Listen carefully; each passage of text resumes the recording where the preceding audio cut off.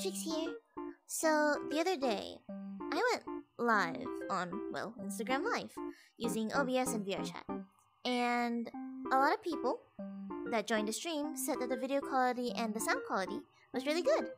And they also asked me how I did it.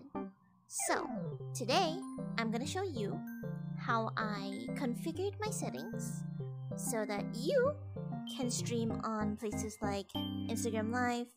So yeah. All the links that you're gonna need are gonna be in the description. I'm gonna put everything down there. So yeah, just open that up and check it out. So if you're ready, then let's go. So the first thing you'll need is a laptop or a desktop that can run OBS. Like this one.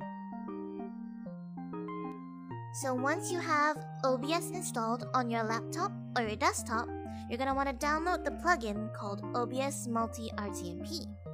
This plugin can be found on GitHub, and I'll put the link in the description. Make sure you download the right plugin version for your version of OBS. I'm using OBS 29.1.1, so I'll be downloading the first one.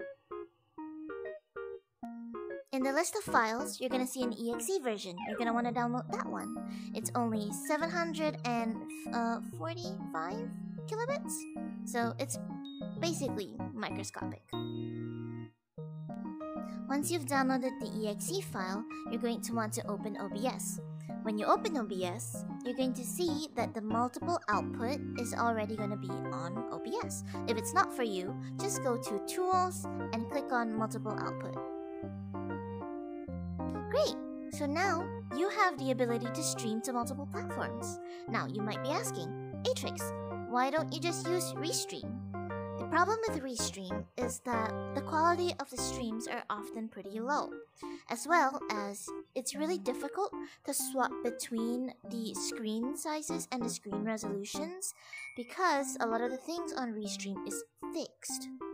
I've tried this out myself, it doesn't work. Let's try implementing the Instagram Live feature now. From here, you're gonna want to download something called YellowDuck. With YellowDuck, you're able to get all the details needed to stream from OBS. You can find YellowDuck in the description as well. Once you have it downloaded, you're gonna want to run YellowDuck, and then you're gonna want to log in to your Instagram through YellowDuck. Now, you might get a message on your phone saying that someone's trying to log into your device. Don't worry, that's just you. You're gonna want to hit allow on that one, and then Yellow Duck will log into your account, and then it'll give you a stream key and an address to put into OBS. From here, we're going to utilize the multiple output plugin. First, you've got to make a new target.